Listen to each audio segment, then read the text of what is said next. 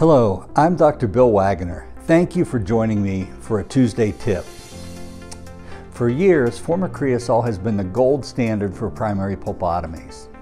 There have been numerous other medicaments over the years suggested as replacements for formocresol, but the one medicament that has consistently shown results equal to or better than formocresol is mineral trioxide aggregate, or MTA.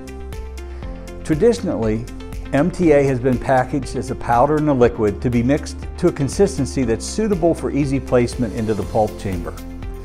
But the clinical use of MTA has gotten a whole lot easier. NeoPutty is a new MTA material from NuSmile which eliminates the mixing of MTA and also helps eliminate a lot of waste. NeoPutty is packaged in a syringe as a premixed MTA material. This makes dispensing as easy as applying a moderate pumping motion to the plunger of the syringe. There are no tips because the material is a putty-like consistency that's easily placed into the pulp chamber with an instrument of your choice. Besides being easy to place, NeoPutty has a high radiopacity, it's non-staining, and it's resin-free. Because you control the amount dispensed from the syringe, the waste of dispensing too much should be minimal. To use NeoPutty, open the pulp chamber and remove the coronal pulp tissue and achieve hemostasis. Personally, I like to use peroxide to irrigate the pulp chamber. Peroxide is a mild hemostatic agent and it really cleans the chamber of debris. But achieve your hemostasis by using a moist cotton pellet and apply pressure over the pulp stumps. As you're waiting for the hemostasis, which will take a minute or two, the dental assistant can dispense a small amount of NeoPutty onto a glass slab.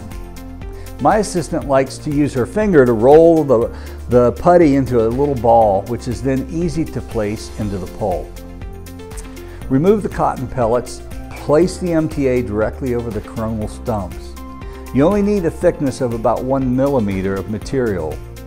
Then I use a moist cotton pellet to condense and spread the NeoPutty into the chamber after it's in place with a Woodson instrument. If you've completed your crown prep prior to placing NeoPutty, there's no need to cover it prior to cementation of the crown, and you don't need to wait for it to set up. If you still have to finish prepping the tooth for the crown, you will need to cover the MTA with IRM or glass ionomer or resin modified glass ionomer so that it doesn't wash out during the preparation. It's as easy as that. Very little cleanup, very little waste.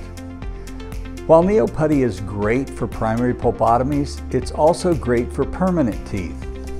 Last week in the OR, I had a seven-year-old with molar incisor hypoplasia. I wanted to avoid a pulp exposure if I could at all, but I did end up with a carious exposure on tooth number 19. Traditionally, this would have been a calcium hydroxide pulpotomy, but studies have shown that MTA pulpotomies in permanent teeth provide excellent results. So this was a great place for NeoPutty. Here is an immediate post-op of the MTA pulpotomy on tooth number 19. Now as a final thought, remember, NeoPutty is not a resorbable material, so don't put it into the root canals of resorbable teeth. I encourage you to give NeoPutty a try. It's convenient, it's easy to use, and it's been shown to provide excellent clinical results in pulpal therapy for primary and permanent teeth.